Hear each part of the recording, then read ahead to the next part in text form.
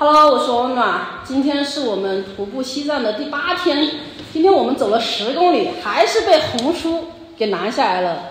红叔热情的邀请我们在鹤庆这边待一天，说在这边玩一下，然后这边有比较有名的灵气小镇，还有啥？沃柑。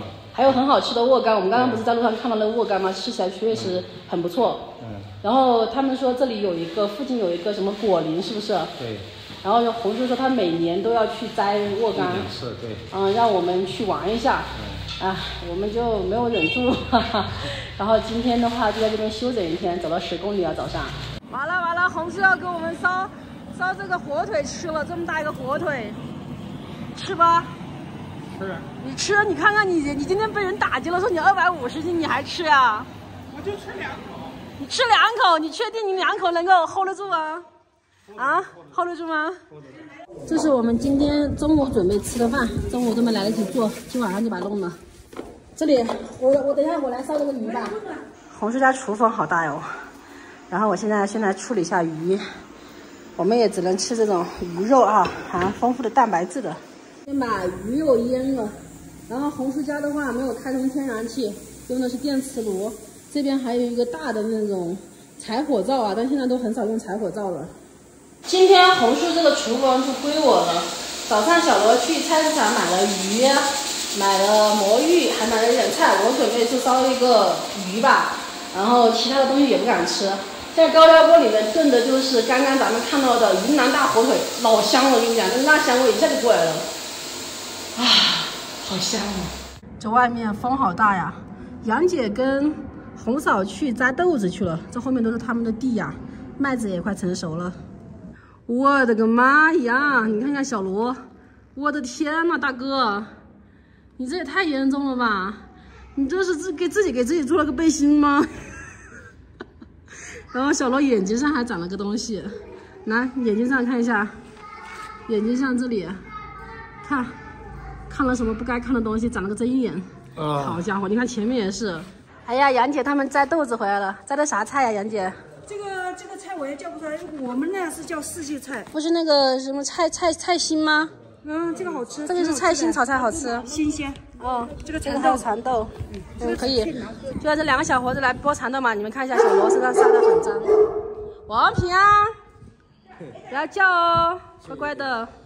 我们现在化身为摘豆子大队了，大家一起在摘豆子。红婶说把这个豆子跟米饭一起煮，他煮了这么多米饭，我们又吃不了米饭，我们只能吃点鱼。看一下红叔家做的这个是排骨腌的辣椒酱，这里面是肉诶，兄弟们，我准备拿这个来做这个酸菜鱼呀。这咱们的鱼弄好了，好了，我要开始做饭了。这是魔芋，把魔芋先煮一下。我本来想做个清汤点的酸菜鱼，结果这个辣椒酱给进去啊，很红。然后这边是配菜啊，哇塞，这个云南火腿弄好了，这辣香味好足哦。哇，五花肉，兄弟们，来一个应该没事吧？尝一下，尝一下，尝一下。嗯，太香了吧，这也。嗯。好香好香，而且不怎么咸。我的鱼做好了，向杨姐切点葱花，然后红婶现在要炒这个好好吃的五花肉了。哦哟，这个这个我们是不能吃的吧？自己弄的豆瓣酱啊？哦，这个炒就不香死人了。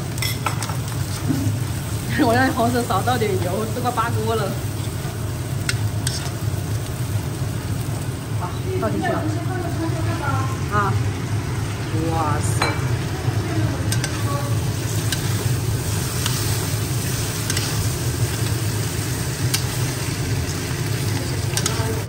我们准备要吃饭了，这是我烧的鱼，红婶烧的这个肉，还焖了一锅饭。